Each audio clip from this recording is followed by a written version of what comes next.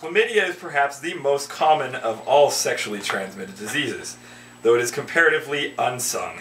While it can, while it can produce symptoms such as discharges, burning sensations, abnormal bleeding, pain, and nausea, these symptoms are easily confused with those caused by gonorrhea. In addition, in nearly three quarters of women and nearly half of men, chlamydia produces no symptoms at all.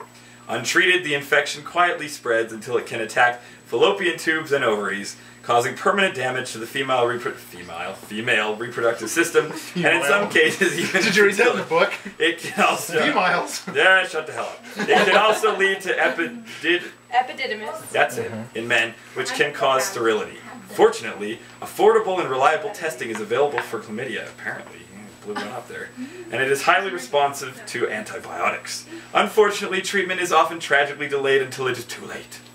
In addition to its venereal impact, chlamydia trachomatis is also responsible for trachoma, the leading cause of preventable blindness worldwide.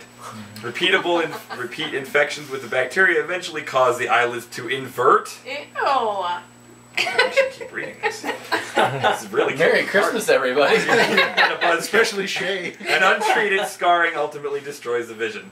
Trachoma is primarily confined to the developing world where medical care is limited. However, because C. trachomatis bacteria can be transmitted from a mother to a child during birth, half of the children born to mothers with chlamydia enter the world with an eye infection, or worse, chlamydia has also been implicated in causing infant pneumonia as well as premature and stillbirths. Yay! Yay!